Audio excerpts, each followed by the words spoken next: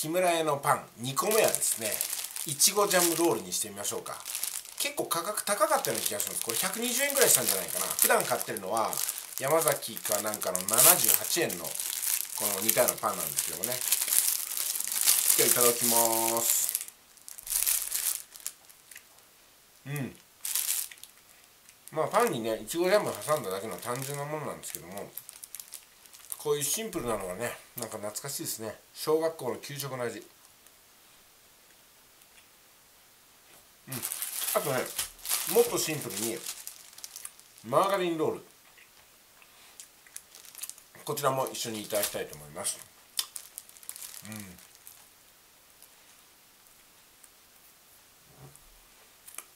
うん、うん、ちなみにねこれカロリー書いてるかな？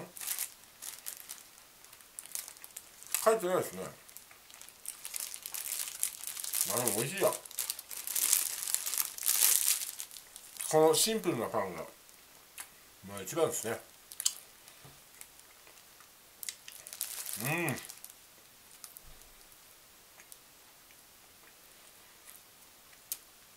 まあ小学校12歳で卒業でしょ？もう36年経つんだ。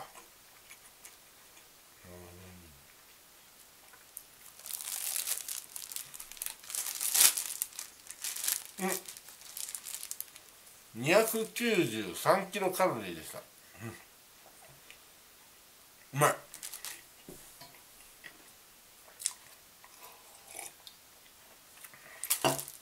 で0.5点。これを貼って。ボールプレゼント。いらねえな。しかも20点集めないといけないってことはパン2個でやっといってんですよ。